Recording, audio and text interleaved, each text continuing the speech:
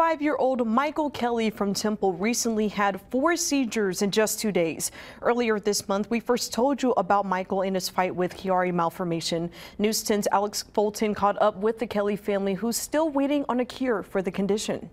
Another road for the other one to go through. A long road ahead for five-year-old Michael Kelley. When they go out, they can go whoop. He's battling Chiari malformation and his family remains with him every step of the way. So the Chiari malformation is where his brain sits too low in his spinal cord or too low in his skull and it puts pressure on his spinal cord. Michael's mom, Sherry Kelley, says the condition causes seizures. In the past few weeks, he's gone from having absence seizures to convulsive seizures. His right leg will kind of twitch and convulse.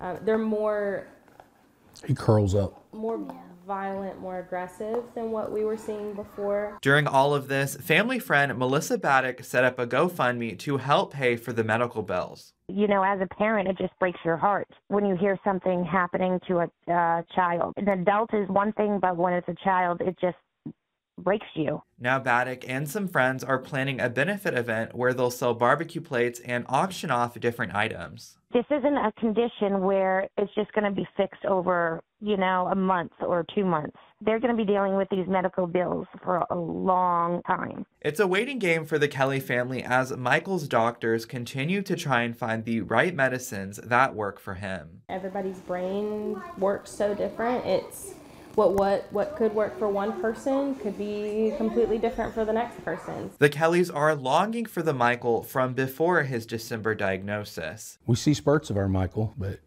We're anxious to get our kid back. we, we want our kid back. In Temple, Alex Fulton, KWTX News 10.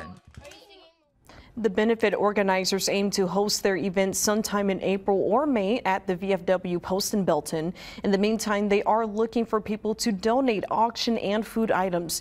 You can find some ways to pitch in over on our website.